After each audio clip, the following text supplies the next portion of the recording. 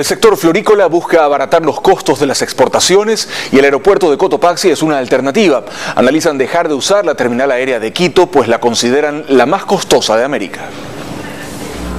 El aeropuerto Mariscal Sucre de Quito estaría a punto de perder el 90% de las exportaciones que parten desde allí hacia el mercado internacional. Ese porcentaje corresponde al sector florícola. Los exportadores y aerolíneas de carga están decepcionados por los altos costos que maneja la terminal aérea de la capital y tienen pocas expectativas de que el aeropuerto de Tababela maneje costos inferiores a los actuales. En este momento Quito es el aeropuerto más caro de América. Un Quito-Miami nos cuesta un dólar 20 el kilo. Un Bogotá-Miami cuesta 80, 75, 80 centavos del kilo.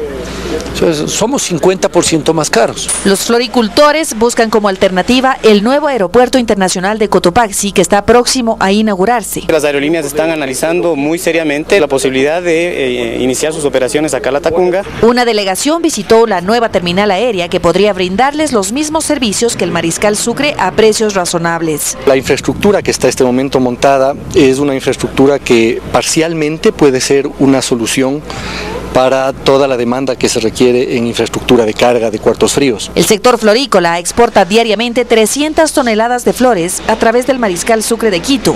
Al momento, tanto exportadores como aerolíneas analizan la alternativa. Pamela Romero, Ecuavisa.